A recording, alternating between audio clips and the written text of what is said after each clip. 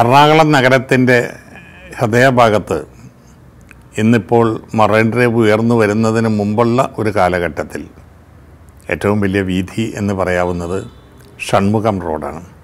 അതിന്റെ പാരപ്പറ്റെന്ന് പറയുന്നത് ഒരുപാട് ഒരുപാട് വിവിധ ശ്രേണികളിലുള്ള ആളുകൾ വന്നിരുന്ന് അസ്തമയം കാണുകയും അഴിമുഖം കടന്നു വരുന്ന കാറ്റ് കൊള്ളുകയും ചെയ്തിരുന്ന ഒരു സ്ഥലമാണ്.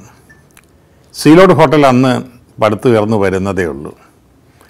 അതിനും അല്പം പുറകിലായി ബ്രോഡ്വേയിലേക്ക് തുറക്കുന്ന ആ ഇടവീഥിയിൽ ഒരു രണ്ട് നില ഓടിട്ട കെട്ടിടമുണ്ടായിരുന്നു. അതൊരു ഹോട്ടലായിരുന്നു. ആ ഹോട്ടലിനെ കുറിച്ച് ഓർക്കുമ്പോൾ എപ്പോഴും നാവിൽ തെളിയുന്നത് അവിടുത്തെ പഴംപൊരിയിൽ മാവിന്റെ കൂട്ടത്തിൽ ജീരകം ചേർക്കുമായിരുന്നു. ആ ജീരകത്തിന്റെ ഒരു മിനുക്കത്തോടു കൂടിയ പഴംപൊരിയുടെ സ്വാദ് ഇപ്പോഴും നാവിലുണ്ട്. അത് കഴിച്ചത് താഴത്തെ റെസ്റ്റോറന്റിലിരുന്നല്ല അവിടെ നിന്നും അതിന്റെ ഓരത്തുള്ള ഒരു മരത്തിന്റെ ഗോവണി വഴി മുകളിലേക്ക് കയറിയാൽ ചെറിയ ചെറിയ അറകൾ പോലുള്ള കുറച്ച് മുറികൾ കാണാം. അതിൽ ഒരു മുറിയിലിരുന്നാണ്. ആ മുറിയുടെ ജാലകം തുറന്നിട്ടാൽ പുറത്തെ റോഡ് കാണാം റോഡിലെ കാഴ്ചകൾ കാണാം. നല്ലൊരു മഴ പെയ്താൽ ഇറാമ്പലിൽ നിന്ന് ഇറ്റ് വീഴുന്ന വെള്ളം ആ തുറന്നിട്ട ജാലകത്തിലൂടെ അകത്തേക്ക് കടന്നു വരും. ഒരു കട്ടിലും ഒരു ചെറിയ സ്റ്റൂളിന്റെ പുറത്ത് കമിഴ്ത്തി വെച്ച ഒരു കൂജയും വേശയെന്ന് വേണമെങ്കിൽ വിളിക്കാൻ ഒരു ബെഞ്ചിന് ബെഞ്ചിന്റെ ഒരു മുറിക്കഷണത്തിന് കാൽ നീട്ടി വെച്ചാൽ ഉണ്ടാകാവുന്ന ഏതാണ്ട് കട്ടിലിരുന്നാൽ എഴുത്ത് മേശയായിട്ട് ഉപയോഗിക്കാവുന്ന രീതിയിലുള്ള ഒരു ഫർണിച്ചർ. അതിന് എന്ത് പേരിട്ട് വിളിക്കണമെന്നറിയില്ല. അത്രയുമാണ് ആ മുറിയിലെ പ്രധാനപ്പെട്ട സംഭവങ്ങളെന്ന് പറയുന്നത്. ഭിത്തിയിൽ നാലഞ്ച് ആണി തൂക്കിയിട്ടുണ്ട്. അതിൽ വേണമെങ്കിൽ ഷർട്ടും മറ്റുമൊക്കെ തൂക്കിയിടാം. ആ മുറിയിൽ ചിത്രകാരനായ കിത്തോടൊപ്പം ഞാൻ ചെന്നത്. കിത്തോ ഇല്ലസ്ട്രേഷൻ വരച്ചുകൊണ്ടിരിക്കുന്ന രേഖാചിത്രങ്ങൾ ഒരുക്കിക്കൊണ്ടിരിക്കുന്ന ഒരു കഥയുടെ ചില ഭാവങ്ങൾ ആ കഥ എഴുതുന്ന നോവലിസ്റ്റുമായി ചർച്ച ചെയ്യാൻ വേണ്ടി പോയപ്പോഴാണ്. ആ നോവലിസ്റ്റ് ആ ഒരു കാലഘട്ടത്തിലെ ഏറ്റവും കൂടുതൽ ജനഹൃദയങ്ങളിൽ സ്ഥാനം പിടിച്ച ഒരുപിടി എഴുത്തുകാരുടെ കൂട്ടത്തിൽ മറ്റൊരു പ്രമുഖനായിരുന്നു. കാരണം മുട്ടത്ത് വർക്കിയുടെയും കാനത്തിന്റെയും ഒരു മുൻനിര കഴിഞ്ഞാൽ പിന്നീട് വരുന്ന നിരയിൽ ഈ നോവലിസ്റ്റിന് വലിയ സ്ഥാനമുണ്ടായിരുന്നു. ആ നിരയിൽ നമ്മൾ ചെമ്പിൽ ജോണിനെ ഓർക്കുന്നു ആ നിരയിൽ വല്ലച്ചിറ മാധവനെ ഓർക്കുന്നു. അവരോടൊപ്പം എന്ന് മാത്രം പറഞ്ഞാൽ പോരാ അവരെക്കാൾ വ്യത്യസ്തമായ ഒരു പ്രത്യേക തലത്തിൽ തന്നെ നമ്മൾ ഓർക്കുന്നൊരു പേരാണ് മൊയ്തു പടിയത്തിന്റേത്. അവരെക്കാൾ ഉയർന്നത് അല്ലെങ്കിൽ അവരെക്കാൾ വ്യത്യസ്തമായി ഒരു ധാര എന്ന് സൂചിപ്പിക്കുവാൻ കാരണം അദ്ദേഹം കൈകാര്യം ചെയ്തിരുന്ന പ്രമേയങ്ങളിൽ ഏതാണ്ട് സിംഹഭാഗവും മുസ്ലിം സമുദായത്തിനുള്ളിൽ നടക്കുന്ന ജീവിതങ്ങളുടെ കഥകളായിരുന്നു. ഒരുപക്ഷെ ആ ശ്രേണിയിൽ പൂർണമായും ശ്രദ്ധ കേന്ദ്രീകരിച്ചുകൊണ്ട് എഴുതിപ്പോന്ന ആദ്യത്തെ വിഖ്യാതനാകുന്ന എഴുത്തുകാരൻ എന്ന അവകാശവാദവും അദ്ദേഹത്തിന് ഉന്നയിക്കാവുന്നതാണ്. മറ്റുള്ളവർ തങ്ങളുടെ സാമൂഹ്യ നോവലുകളിൽ മുസ്ലിം കഥാപാത്രങ്ങളെ നിവേശിപ്പിച്ചിട്ടുണ്ട്. ചില കഥകൾ പൂർണമായും മുസ്ലിം പരിവർത്തനത്തിലും ആ സംസ്കൃതിയുടെ ചുറ്റുവട്ടത്തിലും നിന്ന് എഴുതപ്പെട്ടിട്ടുണ്ട്.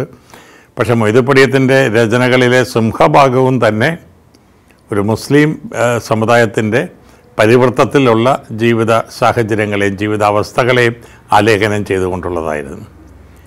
അവിടെ അദ്ദേഹം വരുത്തി തന്ന പഴംപൊരിയും ചായയും ചില്ല് ഗ്ലാസ്സിലെ ചായയും അദ്ദേഹം എപ്പോഴും അര ഗ്ലാസ് അര ഗ്ലാസ് ആയിട്ടാണ് കഴിക്കുക. നിറഞ്ഞ ഗ്ലാസ്സിലെ ചായ അദ്ദേഹം ഇഷ്ടപ്പെട്ടിരുന്നില്ല. ഞാൻ കണ്ടുമുട്ടിയ സന്ദർഭങ്ങളിലൊക്കെ മറ്റുള്ളപ്പോഴെങ്ങനെയായിരുന്നു എന്ന് എനിക്കറിയില്ല.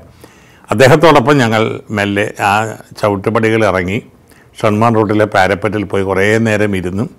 ഒരുപാട് ഒരുപാട് കാര്യങ്ങളെക്കുറിച്ച് ഒരിക്കലും തന്നെ തൻ- തന്റെ എഴുത്തിനെക്കുറിച്ചോ തന്റെ എഴുത്ത് ലോകത്തെക്കുറിച്ചോ തന്നെക്കുറിച്ചോ അല്ല അദ്ദേഹം സംസാരിച്ചത്. ജീവിതത്തെക്കുറിച്ച് അനുഭവങ്ങളെക്കുറിച്ച്. വരാനിരിക്കുന്ന നാളുകൾ ഏറ്റുവാങ്ങാനിരിക്കുന്ന പരിണാമത്തിന്റെ ഭേദ പരിഷ്കാരങ്ങളെക്കുറിച്ച് അവയുടെ അനന്തരങ്ങളെക്കുറിച്ചെല്ലാം വളരെ ജാഗ്രത ജാഗരൂകമായ ശ്രദ്ധാലുവായ ഒരു മനുഷ്യന്റെ വാക്കുകൾക്ക് ഞങ്ങൾ കാതോർക്കുകയായിരുന്നു അതിനിടയിൽ ആ ഫുട്പാത്തിലൂടെ കൈകൾ കോർത്ത് പിടിച്ചുകൊണ്ട് നടന്നു വരുന്ന ടാറ്റാപുരം സുകുമാരനെയും സുകുമാർ ഞാൻ ഓർക്കുന്നു. ഇദ്ദേഹത്തെ കാണുമ്പോൾ അവർ അദ്ദേഹത്തോടും അദ്ദേഹം ഇവരോടും കാണിക്കുന്ന പ്രത്യേക പരസ്പര മതിപ്പോടു കൂടിയ ആദരം. ആ വഴിയിലൂടെ കടന്നുപോയ അത്തരത്തിലുള്ള ഒരുപാട് വിഖ്യാതരായ ആളുകൾ പടിയത്തിനെ അഭിവാദനം ചെയ്യുന്നതും അദ്ദേഹം അതേ ആദരവോടെ അവരെ തിരിച്ച് അഭിവാദനം ചെയ്യുന്നതും. എന്നാൽ അതിലേക്ക് വീണ്ടും അതിന്റെ ഗരിമയിൽ മതിച്ചു നിൽക്കാതെ പറഞ്ഞുകൊണ്ടിരുന്ന വിഷയങ്ങൾ തുടർന്ന് സംസാരിക്കുന്നതും. ആലങ്കാരികമായ ഭാഷ അദ്ദേഹം ഉപയോഗിച്ചിട്ടില്ല. തോളത്ത് കൈയിട്ടുണ്ട് ഒരു ഉച്ച ചങ്ങാതിയോടെ സംസാരിക്കുന്നത് പോലെയാണ് അദ്ദേഹത്തിന്റെ സംഭാഷണങ്ങൾ അത്രയും ഉണ്ടായിരുന്നത്. അതൊരു പങ്കിടലിന്റെ ഊഷ്മളതയുള്ള ഒരു സയന സംഭാഷണമായിരുന്നു. അവിടെ ഏറെ നേരം ഇരുന്ന് അസ്തമയത്തോടടുത്ത് കഴിഞ്ഞപ്പോൾ ഞങ്ങൾ പാരപ്പറ്റ് വഴി നേരെ ഹൈക്കോടതി വഴി വീട്ടിലേക്കാണ് അല്ലെങ്കിൽ ഞങ്ങളുടെ താവളങ്ങളിലേക്കാണെന്ന് അറിഞ്ഞപ്പോൾ യാത്ര പറഞ്ഞ് അദ്ദേഹം പോയി. അതിനിടയിൽ കിത്തോയ്ക്ക് വരയ്ക്കാനുള്ള തന്റെ എഴുതാനിരിക്കുന്ന അധ്യായങ്ങളിലെ കഥാഭാഗങ്ങളെക്കുറിച്ച് സൂചന നൽകുകയും അതിൽ നിന്ന് വ്യക്തമായ ചിത്രങ്ങൾ പറഞ്ഞു തരുന്ന ഒരു ഒരു ഒരു രീതി കൂടി ഉൾച്ചേർത്തുകൊണ്ടാണ് അദ്ദേഹം പറഞ്ഞത്. കിത്ത പറഞ്ഞ അത്തരം ബ്രീഫിങ്ങോ ഫീഡ്ബാക്കോ കിട്ടിക്കഴിയുമ്പോൾ ചിത്രങ്ങൾ വരയ്ക്കാനിരിക്കുമ്പോൾ മനസ്സിൽ ചിത്രങ്ങൾ കഥാപാത്രങ്ങളുടെ രേഖാ രൂപങ്ങൾ താനെ ഉയർന്നു വരിക വളരെ സഹായകമാണ് എന്ന് കിത്തോ പറഞ്ഞതും ഞാൻ ആ കൂട്ടത്തിൽ ഓർക്കുന്നു. നടന്നു പോകുമ്പോൾ ഞാൻ ആ മനുഷ്യന്റെ അപ്പോഴാണ് ആ മനുഷ്യന്റെ ആകാരം ഞാൻ ശ്രദ്ധിക്കുന്നത്. സാധാരണക്കാരിൽ സാധാരണക്കാരെന്ന് പറയാവുന്ന മെലിഞ്ഞ ഒരു രൂപം. നല്ലൊരു കാറ്റ് വന്നാൽ ഒരു അഴിമുഖത്തുനിന്നും വലിയൊരു കാറ്റ് ആഞ്ഞടിച്ചാൽ ഒരു പക്ഷേ ആ മനുഷ്യൻ പറന്നു പോകാമോ എന്ന് നമുക്ക് തോന്നാം. ഇവർ ആ അതേ ഹോട്ടലിൽ തന്നെയാണ് പതിവുകാരനായി താമസിക്കുവാൻ എത്തിയിരുന്നത് വല്ലച്ചറ മാധവൻ. രണ്ടുപേരും മെലിഞ്ഞ മനുഷ്യരാണ്. പക്ഷെ വല്ലച്ചറ മാധവൻ ഓരോ കാഴ്ചയിലും ഈ മെലിഞ്ഞ ശരീരപ്രകൃതി കൂടുതൽ ചുരുങ്ങി വരുന്നത് പോലെ നമുക്ക് തോന്നുമായിരുന്നു. പടിയത്തിന് ആവക ആകാര അന്തരങ്ങളോ ഭേദങ്ങളോ ഉണ്ടായിരുന്നില്ല. എന്നാൽ പോലും വളരെ മെലിഞ്ഞ സാധാരണക്കാരനായ ഒരു പച്ച മനുഷ്യൻ ചെരുപ്പ് ധരിച്ചിട്ടുണ്ടെങ്കിൽ ആ മനുഷ്യൻ കാൽ കാലുകൾ ചുവടുകൾ വെക്കാൻ വേണ്ടി അമർത്തുന്നത് മണ്ണിലാണ് പച്ച മണ്ണിലാണ്. ആ പച്ചമണ്ണിൽ ജീവിക്കുന്ന കഥാപാത്രങ്ങളുടെ കഥകളെ അദ്ദേഹം പറഞ്ഞിട്ടുണ്ട്. അദ്ദേഹത്തിന്റെ കഥാലോകത്തെക്കുറിച്ച് ഇന്ന് പിന്തിരിഞ്ഞ് നോക്കുമ്പോൾ അവ ഏറിയ പങ്കും സംസാരിച്ചിരുന്നത് കൊടുങ്ങല്ലൂരിലെ ഭാഷയാണ്. കൊടുങ്ങല്ലൂരിലെ മുസ്ലിം ഭാഷയല്ല കൊടുങ്ങല്ലൂരിന്റെ ഭാഷയാണ്. ചില പ്രായമേറിയ കഥാപാത്രങ്ങൾ സംസാരിക്കുന്നതിൽ മുസ്ലിം സംസ്കൃതിയുടെ ചില തൊന്നലുകൾ ഇടചേർന്നിരുന്നു എന്നല്ലാതെ. പിന്നീട് പലരും എഴുതപ്പെട്ട എഴുതി എഴുതിപ്പോന്ന മലബാർ മുസ്ലിം പരിവർത്തത്തിന്റെ ഭാഷയോ അല്ലെങ്കിൽ അതാണെന്ന ധാരണയിൽ ആവശ്യത്തിൽ കൂടുതൽ അലങ്കാരമായി മുസ്ലിം സ്ലാങ്ങുകളെ ബോധപൂർവം ഇടചേർത്തുകൊണ്ട് ഭാഷയുടെ സ്വാഭാവിക യാനത്തിന് കനം തൂങ്ങുന്ന വിധത്തിൽ ഇടചേർത്തിട്ടുള്ള ഭാഷ രീതികളോ അദ്ദേഹം അവലംബിച്ചിരുന്നില്ല. കൊടുങ്ങല്ലൂരിൽ പ്രത്യേകിച്ചും ബഹദൂർ അടക്കമുള്ള ആളുകളോട് സംസാരിക്കുമ്പോൾ അദ്ദേഹം സംസാരിച്ചു പോകുന്നൊരു ഭാഷയുണ്ട്. കൊടുങ്ങല്ലൂരിലെ സർവസാധാരണക്കാരനായ ഒരാളോട് സംസാരിക്കുമ്പോൾ അയാളിൽ നിന്ന് കേൾക്കാൻ ഇടവരുന്നൊരു ഭാഷയുണ്ട്. അവർ തമ്മിൽ തമ്മിൽ സംവദിക്കുന്ന ഭാഷ.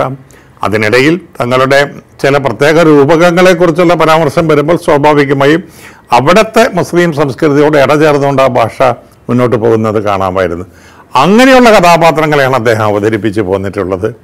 അതോടൊപ്പം തന്നെ തനിക്ക് പരിചിതമായ ലോകത്തെക്കുറിച്ചാണ് അദ്ദേഹം ഏറിയ പങ്കും എഴുതിയിട്ടുള്ളത്.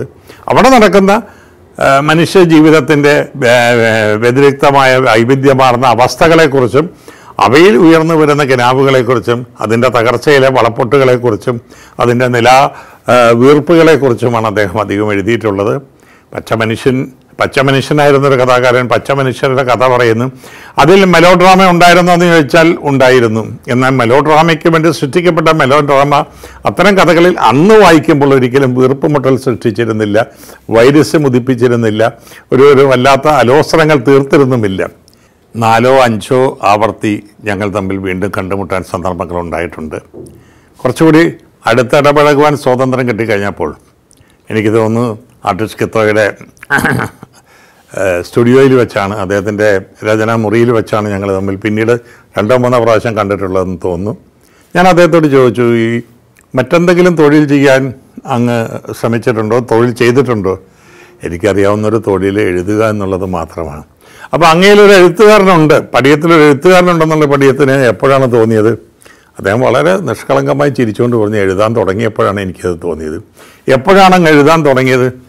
ഏഴാം ക്ലാസ്സിൽ പഠിക്കുമ്പോഴേ ഞാൻ കഥകൾ എഴുതുമായിരുന്നു. എട്ടാം ക്ലാസ് ഒമ്പതാം ക്ലാസ് ആകുമ്പോഴേക്കും എന്റെ വഴി ഇതാണെന്ന് ഞാൻ തിരിച്ചറിഞ്ഞിരുന്നു. ആ കഥകൾ വായിക്കാൻ ഇടവന്ന ചങ്ങാതികളും ഗുരുക്കന്മാരും വീട്ടിലും നാട്ടിലുമുള്ള ചില മുതിർന്നവരും എന്നെ പ്രോത്സാഹിപ്പിച്ചിരുന്നു. മറ്റൊരു വഴി തേടാൻ എനിക്ക് തോന്നിയില്ല. മറ്റൊരു വഴി ഞാൻ തേടിയതുമില്ല. ഏഴാം ക്ലാസ്സിലും എട്ടാം ക്ലാസ്സിലും കഥകൾ എഴുതാൻ തുടങ്ങുന്ന ഒരു കുട്ടിയും പത്താം ക്ലാസ് പാസ്സാകുന്നതിന് മുമ്പ് അല്ലെങ്കിൽ പത്താം ക്ലാസ്സിൽ എത്തുന്നതിന് മുമ്പേ എഴുത്താണ് തന്റെ വഴിയെന്ന് തിരിച്ചറിയുകയും ജീവിതത്തിന്റെ ഒരുപാട് പ്രലോഭനങ്ങളും ഒരുപാട് വിഷമസന്ധികളും കൺമുമ്പിൽ സുതാര്യമായി നിലനിൽക്കെ അതിനെയെല്ലാം തൃണവൽക്കണിച്ചുകൊണ്ട് എനിക്ക് എഴുത്തിന്റെ വഴി മതി എന്ന് ഉറപ്പിക്കുകയും ചെയ്യുക എന്ന് പറയുന്നത് അസാധാരണമായ ഒരു അനുഭവമാണ്. പക്ഷേ അസാധാരണമായ അനുഭവത്തെയാണ് മൊയ്തു പടിയത്ത് ഭരിച്ചത്. എത്ര കഥകൾ എഴുതിയിട്ടുണ്ടെന്ന് ചോദിച്ചാൽ അദ്ദേഹത്തിന് കൃത്യമായ ഉത്തരം പറയാൻ കഴിയില്ല. എത്ര നോവലുകളുണ്ടെന്നുള്ളതിന് പോലും ചിലപ്പോൾ കൈയും കണക്കും കാണില്ല. പലരും ആവശ്യപ്പെടും എഴുതും എഴുതി കൊടുക്കും അത് അച്ചടിച്ചു വരും. അവയെല്ലാം സമാഹരിച്ച് വളരെ കൗശലപൂർവം സ്വയം പ്രൊജക്റ്റ് ചെയ്തുകൊണ്ട് പുസ്തകങ്ങളാക്കാനും സമാഹാരങ്ങളാക്കാനും അതിലൂടെ അതിന്റെ ഒരു സാമ്പത്തിക ഭദ്രത കൈവരിക്കുവാനുമുള്ള തത്രപ്പാടുകളൊന്നും അദ്ദേഹം നടത്തി പോന്നിട്ടില്ല. ആയിരത്തി തൊള്ളായിരത്തി അറുപത് മുതൽ ഏതാണ്ട് കാൽ ശതാബ്ദ കാലത്തോളം മൊയ്തു പടിയത്ത് മലയാള സിനിമയുമായി സഹവർത്തിച്ചു പോന്നിരുന്നു. ഏതാണ്ട് പത്ത് പന്ത്രണ്ട് ചിത്രങ്ങളിൽ അദ്ദേഹത്തിന്റെ സാന്നിധ്യമുണ്ടായിരുന്നു.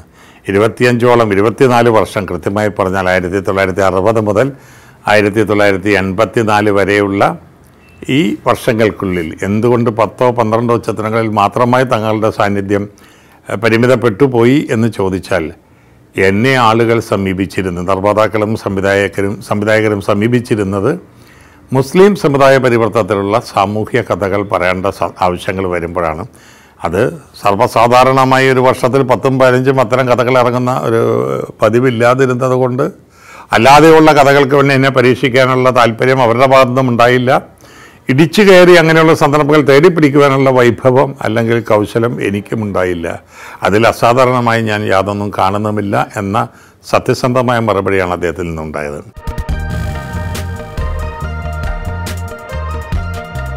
മൂന്ന് ഭൂഖണ്ഡങ്ങളിൽ സ്ഥിതി ചെയ്യുന്ന നാലു രാജ്യങ്ങളിലെ വിശദമായ കാഴ്ചകളുമായി സഞ്ചാരം പതിനാലാം വോളിയം പെൻഡ്രൈവിൽ അസർബൈജാൻ ഇന്തോനേഷ്യ തജിക്കിസ്ഥാൻ പെറു. സഞ്ചാരം വോളിയം നമ്പർ ഫോർട്ടീൻ പെൻഡ്രൈവ് വില നാലായിരം രൂപ.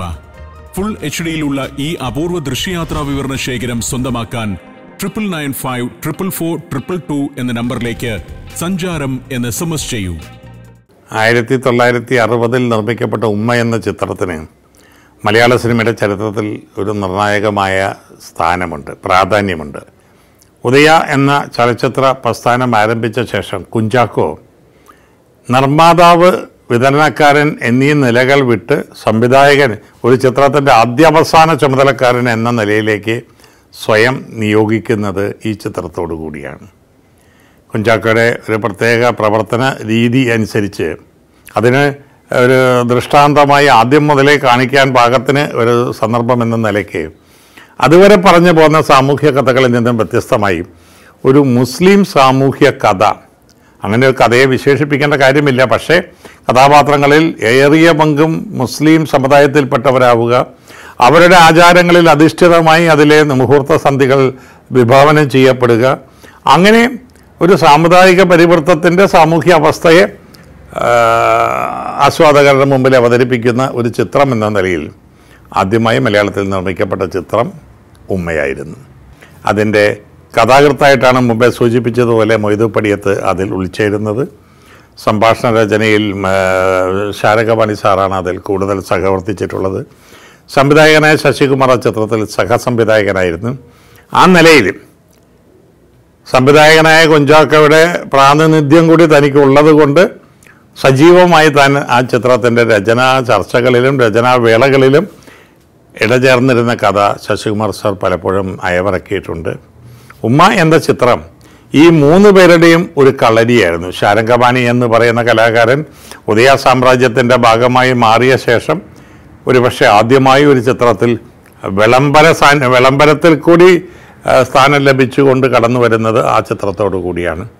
മൊയ്തീപ്പടിയത്തിനെ സംബന്ധിച്ചിടത്തോളം സിനിമകൾ കണ്ടിരുന്നു എന്നല്ലാതെ സിനിമയുടെ ഭാഗമായി അതിന്റെ സൃഷ്ടിപ്പുരയിലുള്ള ഒരു പങ്കാളിത്തം അതാദ്യമായിരുന്നു പരസ്പരമുള്ള ഒരു വല്ലാത്ത ആശയ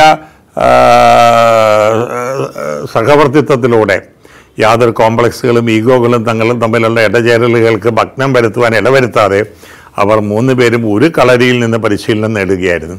അവിടെ ഒരു പ്രമേയം നൽകിയത് ആ പ്രമേയത്തിലെ കഥാപാത്രങ്ങളെ നൽകിയത് അതിലെ മുഹൂർത്ത സന്ധികളെ ഉയർത്തു കൊടുത്തത് മൊയ്തുപടിയത്തും അവയെ പരിഭാഗപ്പെടുത്തിയെടുത്തത് ശശികുമാറിന്റെ സംവിധാന രംഗത്ത് നിന്നുള്ള ഇടപെടലുകളും അവയെ ആവിഷ്കാരത്തിലൂടെ നമുക്ക് മുമ്പിൽ പകുത്തു തന്നത് ശാരംഗമാണിയുടെ രചനാ വൈഭവവും. അങ്ങനെ വേണം ആ ചിത്രത്തെ വിശേഷിപ്പിക്കുവാൻ. ആശങ്കകളോടെ എന്ന് വിശേഷിപ്പിക്കാമായിരുന്നു എന്ന് ഞാൻ മുൻപേ സൂചിപ്പിച്ചു. ആശങ്കകളെ കാറ്റിൽ പറത്തിക്കൊണ്ട് അതുവരെ പരിചിതമായ നായകമുഖത്തിന് പകരം നാടകവേദിയിലൂടെ വളരെ പ്രസിദ്ധി നേടുകയും മുമ്പെപ്പോഴോ രാജിച്ചൻ എന്ന പൗരനിൽ ഒരു വൃദ്ധവേഷത്തെ കൈയാളുകയും ചെയ്ത കെ പി ഉമ്മർ എന്ന് പറയുന്ന നടൻ സ്നേഹജാൻ എന്ന താരനാമത്തോടെ ഈ ചിത്രത്തിലൂടെയാണ് നായക വേഷം കൈയാളുന്നത്. പക്ഷേ ആ ചിത്രം ജനപ്രീതി നേടിയ ചിത്രമായി മാറി. മുസ്ലിം സമുദായത്തിന്റെ മാത്രം കഥ പറഞ്ഞാൽ അതൊരു ന്യൂനപക്ഷത്തിന് മാത്രം ഇഷ്ടപ്പെടുകയും ബഹുഭൂരിപക്ഷം വരുന്ന അന്യ സമുദായം അതിനെ തള്ളിക്കളയുകയും ചെയ്യുമെന്ന് പറയുന്ന ആശങ്ക അസ്ഥാനത്താണെന്ന് ആ ചിത്രം തെളിയിച്ചു. അതേപോലെയുള്ള ആശങ്കകൾ പൂർണമായും ക്രിസ്ത്യൻ പരിവർത്തനത്തിൽ ഇറങ്ങുന്ന കഥകൾക്കെതിരെയും ഭയപ്പാടുണ്ടായിരുന്നു. തിരുവിതാംകൂറിൽ അത്തരം കഥകൾ സ്വീകരിക്കപ്പെടില്ല. മലബാറിലും ക്രിസ്ത്യൻ കഥകൾക്ക് സ്വാഗതമുണ്ടാവില്ല. അത് കൊച്ചി പ്രവിശ്യയിൽ മാത്രമായി പരിമിതപ്പെട്ടു പോകും. മുസ്ലിം കഥകൾ മലബാർ പ്രവിശ്യയിൽ മാത്രം പരിമിതപ്പെട്ടു പോകും എന്ന് പറയുന്ന പല വിലക്കുകളും പിന്നീട് മലയാള സിനിമ പല പക്ഷ ന്യായവാദങ്ങളും അല്ലെങ്കിൽ അത്തരത്തിലുള്ള ധാരണകളും പിന്നീട് സിനിമ അതിന്റെ പ്രയാണ വഴിയിൽ വെച്ച് പലപ്പോഴായി തിരുത്തി കുറിക്കുകയുണ്ടായി. ഏതായാലും ആശങ്കയോടെ മുസ്ലിം സമുദായത്തിന്റെ മാത്രം ഒരു കഥ പറയാൻ തുടങ്ങിയ ആ ചലച്ചിത്ര വൃന്ദത്തിന് ജനങ്ങളുടെ പൂർണമായ സ്വീകരണം കൊണ്ട് തങ്ങളുടെ ആത്മവിശ്വാസത്തെ ഊട്ടി ഉറപ്പിക്കുവാൻ കഴിഞ്ഞു. ഏതാണ്ട് ഇതിന് സമാന്തരമായി തന്നെ ഇത്തരത്തിലുള്ള ഒരു പരിവർത്തനത്തിൽ സിനിമ എടുക്കണമെന്ന ആഗ്രഹം ടി വാസുദേവൻ എന്ന് പറയുന്ന പ്രാമാണിക നിർമ്മാതാവിന് തോന്നുന്നു. അതും താൻ അതുവരെ ഉണ്ടായിരുന്ന ചലച്ചിത്ര കൂട്ടിൽ നിർമ്മിച്ച ഒരു ചിത്രം വൻ പരാജയമായി താരനിബിഡമായ ഒരു ചിത്രം വൻ പരാജയമായപ്പോൾ ആ ചിത്രത്തിലൂടെ തങ്ങളുടെ കമ്പനിക്ക് നേരിടേണ്ടി വന്ന നഷ്ടം ഒരു ലക്ഷം രൂപയാണ്. ആ ഒരു ലക്ഷം രൂപ മുടക്ക് മുതലാക്കിക്കൊണ്ട് അതിൽ നിന്ന് ഒരു ജില്ലി പോലും കൂടുതൽ മുടക്കാതെ താനൊരു ചിത്രം അവതരിപ്പിക്കും എന്ന് ദൃഢപ്രതിജ്ഞ എടുത്തുകൊണ്ട് അത് മുസ്ലിം പരിവർത്തനത്തിലുള്ള ചിത്രമാകാമെന്ന മുൻധാരണയോടുകൂടി ടി വാസ്തവൻ ചലച്ചിത്ര രംഗത്ത് തന്റെ അടുത്ത ചൂട് പതിപ്പിക്കാൻ തയ്യാറായപ്പോൾ അതിന് അദ്ദേഹം തേടി വന്നത് മൊയ്തു പടിയത്തിനെയാണ്. അങ്ങനെയാണ് മലയാള സിനിമയിലെ ജീവിതനൗക വൻ വിജയമായിരുന്നു എന്നിരിക്കെ തന്നെയും ഏറ്റവും വലിയ ഒരു വിജയം എന്ന നിലയിൽ ആ കാലഘട്ടത്തിൽ ആദ്യത്തെ സൂപ്പർ ഹിറ്റ് പടം ആദ്യത്തെ ബോക്സ് ഓഫീസ് ഹിറ്റ് പടം എന്ന ഖ്യാതി നേടിയെടുത്ത കുട്ടിക്കുപ്പായം ഉയർന്നു വരുന്നത്. ആയിരത്തി തൊള്ളായിരത്തി അറുപത്തിനാലിലാണ് കുട്ടിക്കുപ്പായം പുറത്തിറങ്ങുന്നത്. അതൊരു വലിയ വിജയമായി. അതിലെ പാട്ടുകളും സംഭാഷണങ്ങളും ജനങ്ങൾ ഏറ്റ് പാടിയും പറഞ്ഞും കൊണ്ട് നടന്നിരുന്നു ഏറെക്കാലം. ആ ചിത്രത്തിന്റെ വിജയം നൽകിയ ആത്മവിശ്വാസവും ഒരുപക്ഷെ അത് പകുത്തു നൽകിയ അതിന്റെ ഒരു പെരുമയും അടുത്ത വർഷം അദ്ദേഹം രണ്ട് ചിത്രങ്ങളുടെ പണിപ്പുരയിലെത്തി. ആയിരത്തി തൊള്ളായിരത്തി അറുപത്തി അഞ്ചിൽ കുപ്പിവള എന്ന ചിത്രവും ഒപ്പം തന്നെ തങ്കക്കുടം എന്ന ചിത്രവും മൊയ്തുപടിയത്തിന്റെ രചനയിൽ നമുക്ക് ലഭിച്ചു. തങ്കക്കുടത്തെക്കാളേറെ വ്യക്തിപരമായ നിലയിൽ എനിക്കിഷ്ടപ്പെട്ടത് കുപ്പിവളയാണ്. അത് ഒരു അന്ധനായ മനുഷ്യന്റെ ജീവിതത്തിൽ വെളിച്ചമായി കടന്നു വരുന്ന ഒരു പെൺകുട്ടിയുടെയും അവരുടെ ജീവിതയാനത്തിൽ വരുന്ന ഇടർച്ചകളുടെയും പരീക്ഷണങ്ങളുടെയും സന്ധികളുടെയും കഥയാണ് പറഞ്ഞത്. വളരെ സാമ്പ്രദായിക രീതിയിലാണ് പറച്ചല്ലെങ്കിൽ പോലും അതിൽ ചില മുഹൂർത്തങ്ങൾ നമ്മുടെ മനസ്സിൽ വല്ലാതെ തട്ടി നമ്മളെ വല്ലാതെ സ്പർശിക്കുന്ന നിമിഷങ്ങളായിരുന്നു. ഇപ്പോഴും കൺമണി നീയൻ കരം പിടിച്ചാലെന്ന് ആരംഭിക്കുന്ന ഗാനവും അങ്ങനെ ഒരു ഗാനത്തിന് ഇടം നൽകുന്ന അതിലെ കഥാമുഹൂർത്തവും നമ്മുടെ മനസ്സിൽ പച്ചപ്പോടെ ഉയർന്നു നിൽക്കുന്നു. ഏതാണ്ട് ഇത് കഴിഞ്ഞ് ഏറെ വൈകാതെയാണ് സുബൈദ എന്ന ചിത്രം ഇറങ്ങുന്നത്. എന്റെ ഓർമ്മയിൽ അതിൽ ആ ചിത്രം മൊയ്തുപ്പടിയത്തിന്റെ രചനയിലാണ് പുറത്തിറങ്ങിയത്. പക്ഷെ അദ്ദേഹത്തെക്കുറിച്ചുള്ള വിക്കിപീഡിയ അടക്കമുള്ള ചില റഫറൻസ് ഇൻഡെക്സുകളിൽ ആ ചിത്രം ഉൾപ്പെടുത്തി കാണുന്നില്ല. അത്തരം റഫറൻസുകളിലും പിഴവ് പറ്റാം എന്റെ ഓർമ്മയിലും പിഴവ് പറ്റാം. ഏതായിരുന്നാലും എന്റെ മനസ്സിൽ അതിലെ മുഹൂർത്തങ്ങളിൽ ഞാൻ മൊയ്തുപ്പടിയത്തിന്റെ സാന്നിധ്യം അനുഭവിച്ചറിഞ്ഞത് ഓർക്കുന്നു.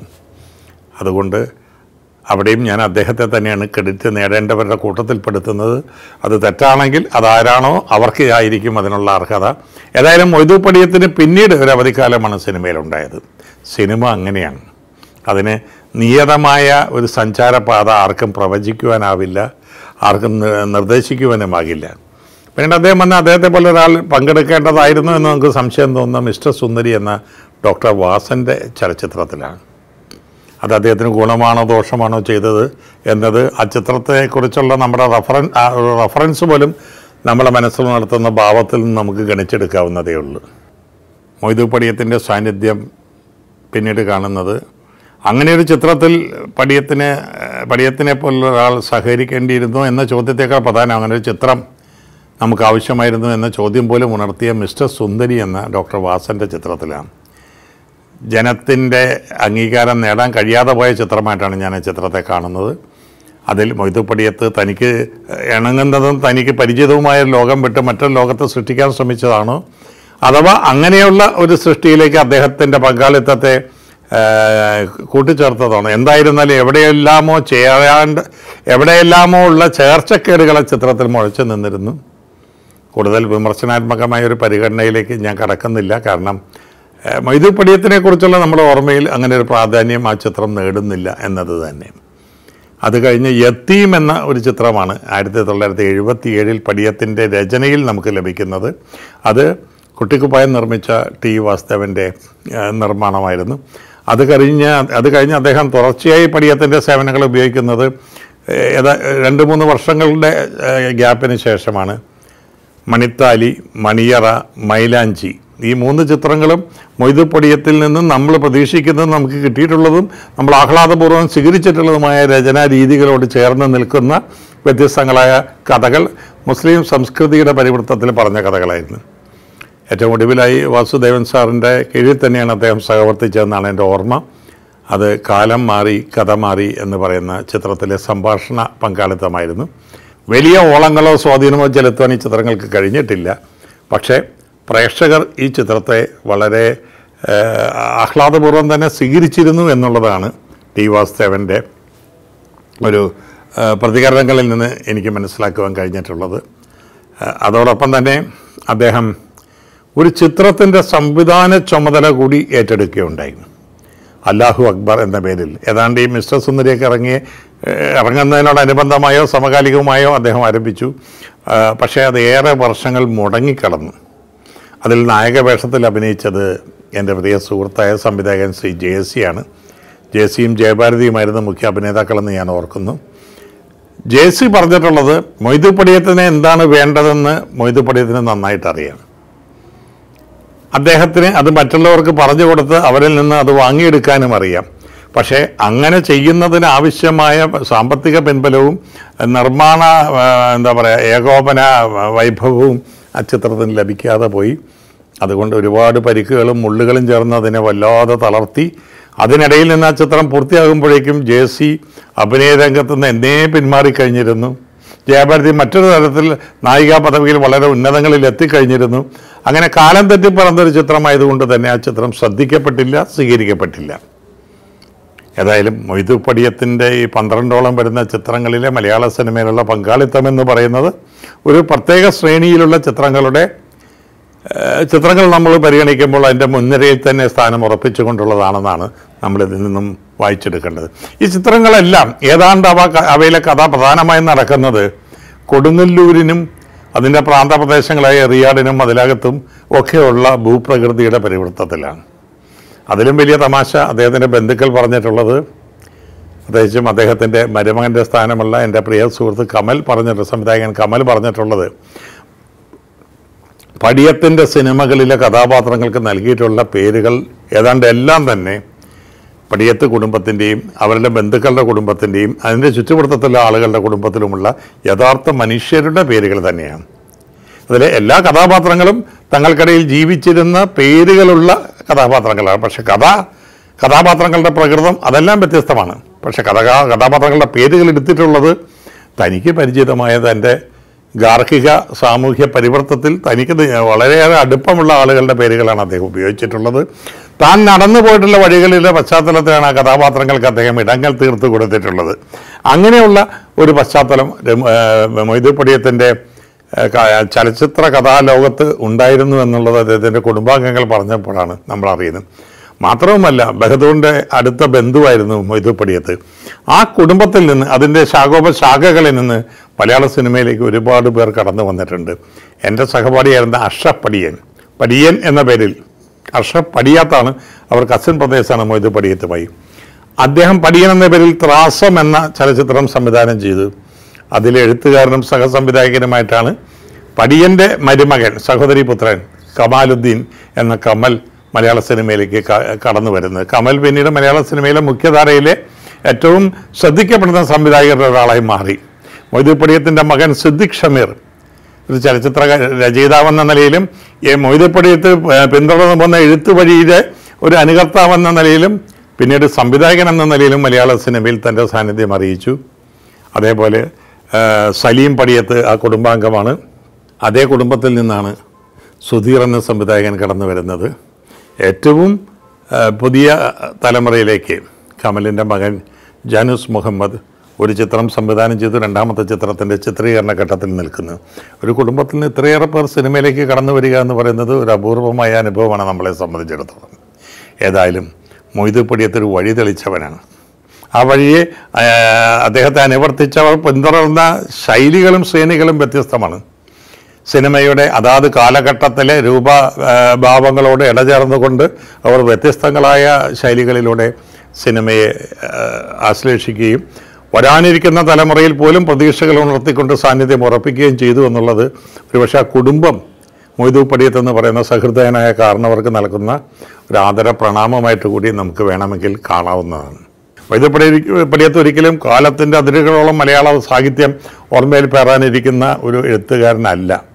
പക്ഷേ താൻ നിലനിന്ന കാലഘട്ടത്തോട് യാതൊരു ആർഭാടത്തിന്റെ അലങ്കാരികതയുടെ അതിശയവൽക്കരണവും ഇല്ലാതെ പച്ച മനുഷ്യന്റെ കഥ പച്ച ഭാഷയിൽ എഴുതി അതിന് അനാവശ്യം നിറങ്ങൾ പിടിപ്പിക്കാതെ വളരെ സത്യസന്ധമായി കഥ പറയാൻ ശ്രമിച്ച തന്റെ ജീവിതത്തിൽ തന്റെ മനസ്സിന് ആ ജീവിതം പകുത്തു നൽകിയ ആർജവം തന്റെ കഥാപാത്രങ്ങൾക്ക് അല്പം പോലും ലോപമില്ലാതെ പകുത്തു നൽകി തന്റെ കഥകളിലൂടെ അവർ ജീവിച്ച അവർ വർഷിച്ച ജീവിതത്തിലൂടെ ആ ജീവിതം നിവർത്തിതമായ സാമൂഹ്യ അവസ്ഥകളിലൂടെ ജീവിതാനുഭവങ്ങളിലൂടെ ഈ ലോകത്തെ നോക്കി ഇതാണ് ഞാൻ കണ്ട ലോകം എന്ന് സാക്ഷ്യപ്പെടുത്തി അക്ഷരങ്ങളെ ആത്മാവോട് ചേർത്ത് അണച്ചുകൊണ്ട് കടന്നുപോയ ഒരു എഴുത്തുകാരനാണ് കലാകാരനാണ് സഹൃദയനായ സുഹൃത്താണ്.